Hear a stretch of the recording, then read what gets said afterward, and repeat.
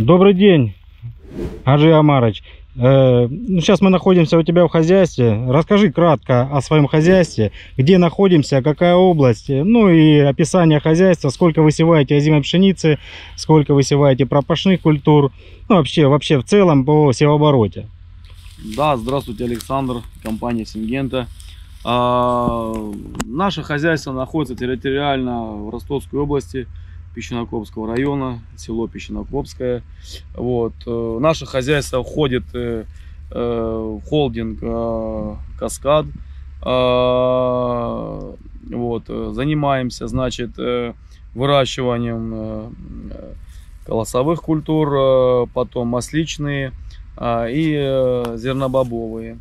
Пшеницы посеяно на нашей площади в этом году 2470 а, площадь вся составляет 3700. Э, вот. Э, э, занимаемся выращиванием семян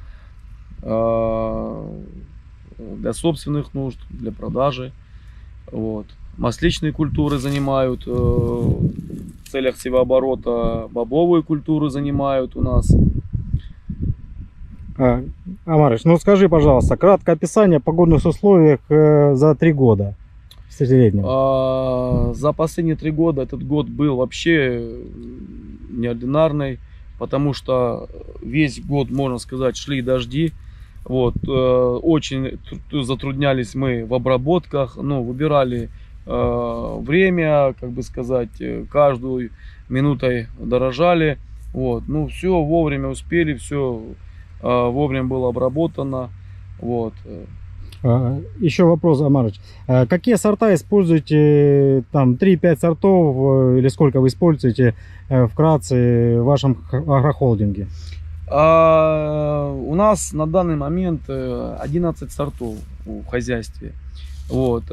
Из них в этом году более такой вот в производстве уже, в реальности производстве показал себя Агрофак 100, показала Бумба, показала Школа, а, то Таня показала себя тоже в урожайности, но в качестве похуже, э, чем а, Агрофак 100, чем Школа, чем Бумба.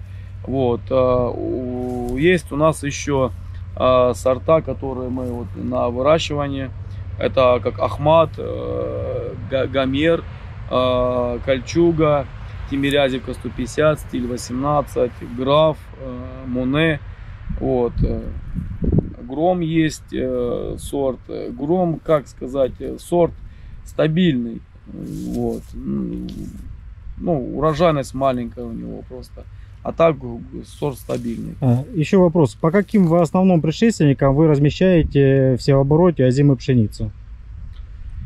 Ну, в основном озимая пшеница у нас размещается по бобовым культурам, и по масличным культурам. Ну и озимая по озимой, да, клин у вас большой? Э, ну озимая по озимой, да, это продовольственная пшеница. Угу. А семенной материал вес размещается в основном по бобовым культурам и по подсолнечнику. Ну, клин озимая по озимой примерно в площади или в процентном соотношении сколько высеваете?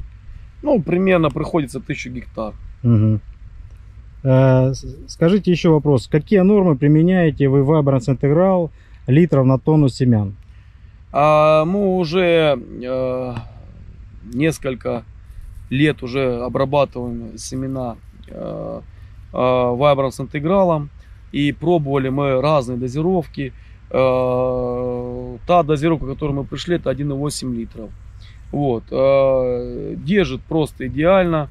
Э, проехал я э, ранней весной, поздней весной все посевы свои и по предшественникам объехал, и колосовые, и масличные культуры предшественники. А, корневая система просто была сумасшедшая. Вот, болезней не было, а, поражений тоже никаких вот э, не было. А, стояла просто идеальная пшеница. С какими нормами в физическом весе, в килограммах ну, вот, высеваете вы в своем агрохолдинге? Мы сеяли до этого э, и 220, и 230 сеяли. А, сейчас мы пришли к тому, что э, мы сеем 180-200. Это примерно 4 миллиона. 3,8-4 миллиона. Вот. А семенные участки мы вообще сеем 2,5, 2,7 максимум. Ну, в среднем какие урожайности получаете, если не секрет, в вашем агрохолдинге за, за три года? А, Я вам скажу, в том году была средняя урожайность э, именно по заре. Это был 61,5 а в круговую. В другом нашем соседнем хозяйстве э, получили мы 65. М, Что по этому году?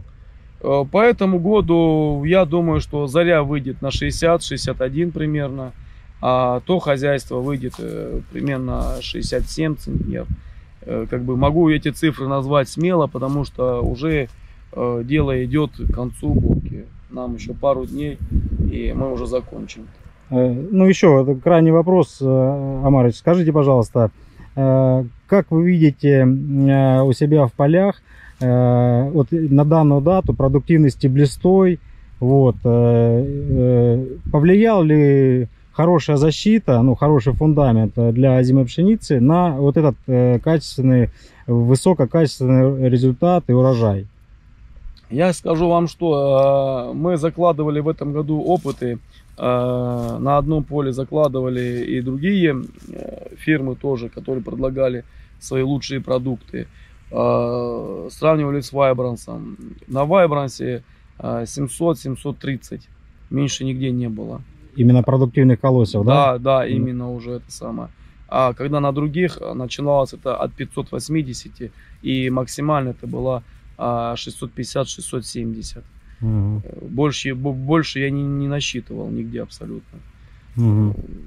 Схема одна и та же. Схема обработки, э, фунгицидная защита, гербицидная защита, э, сроки обработки все в один день, все в одно время обрабатывалось, а всего-навсего протравитель семян другой. И подкормка та же самая, только один протравитель вот менялся, и вот такая вот разница как бы. Хорошо, большое спасибо, Гаджи э, Амарыч. Хороших вам результатов, говорится, э, урожаев в дальнейшем. И всего самого доброго в вашем агрохолдинге. Спасибо. Спасибо вам большое.